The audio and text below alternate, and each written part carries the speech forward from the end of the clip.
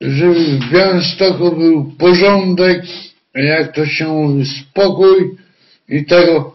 I zero, jak to się mówi, demokracji polskiej, którzy zamierzają robić co nieco.